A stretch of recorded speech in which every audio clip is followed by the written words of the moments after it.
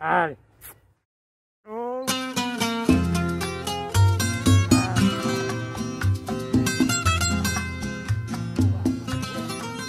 Esta es la finca Los Pinos Nuevos en las inmediaciones de la ciudad de Contramaestre y Hermes es el protagonista de este romance con la tierra en tiempos de coronavirus. Mi padrastro fue el que me crió, tenía una finca y me fue enseñando a trabajar en, en lo que es la tierra y le fui cogiendo amor.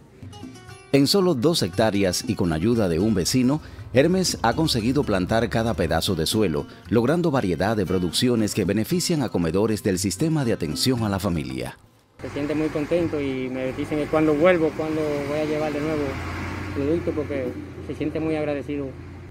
Y exhorto a los campesinos que, que una yunta de buey es como tener 10, 10 o 15 hombres eh, en, en su finca trabajando, que se preocupen por eso, aunque sea uno solo.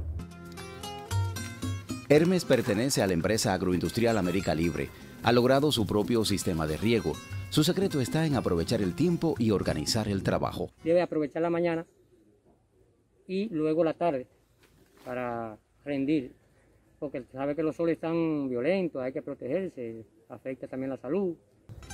En la finca suburbana Los Pinos Nuevos de Contramaestre, Hermes responde con resultados y compromiso. Eh, mientras que yo esté en pie y yo voy a, seguir eh, produciendo y para aportar al país, a todo el que le, le, haga falta.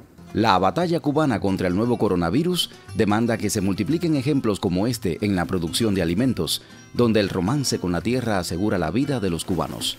Ricardo Chacón Rubio, Sistema Informativo de la Televisión Cubana.